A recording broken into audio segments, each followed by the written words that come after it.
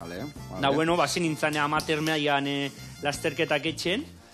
Eta orduan txirrindularitza zeuan, ire arlo potentiago antreatoloian, o igerilari ja hobeto moldatze izan, edo korrikan, o zeinuan ire puntu fuertia. Bai. Ni nintzen iruretan nahiko regularra, baina batez bobetuen e, bizikletan ibiltzen Vale, nintzen. vale, vale. Bai. Da horixe, ba, 2000 eta hogeiko udan, bai hasi nintzen e, amater mailan ba, lasterketak etxen.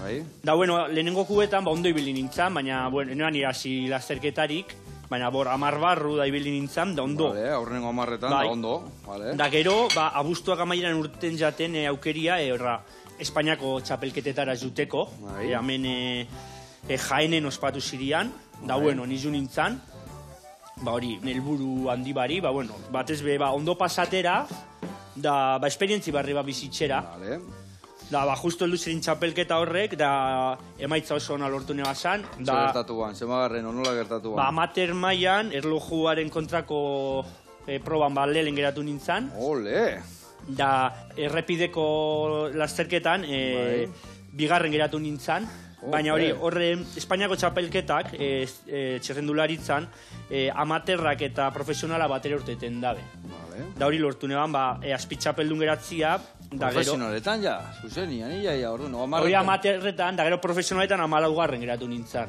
Joder, Baina egia hori esan, de ba, hori. marka, ahi. Bai, ba... Izia inok espazan espero emaitzak izan zirian, Zer egon, ahi.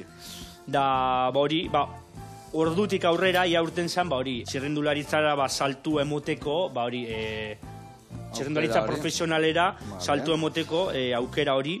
Eta hor ja, ze ojea horiak, o ekipo batek hartu zilan, o ze gertatu Ez, ba hor behitu, e, ametxurruka, txirrendularitz profesionala izan zana, berak anima eustan batez be hori, ba, amater mailan e, kompetituten segitze, segitzia ba, denboraldia bukatu arte, emaitza hobiak lortzeko, da ba hori, ba, beren bitxartez, ba, berak e, askanian, ba, Burgos behatzen e, ezagutze ban, e, hau, zean da, zuzendaria Ruben Pérez, Euskalduna dana be bai, Bai, bizak Euskaltelen korre du ben, bai.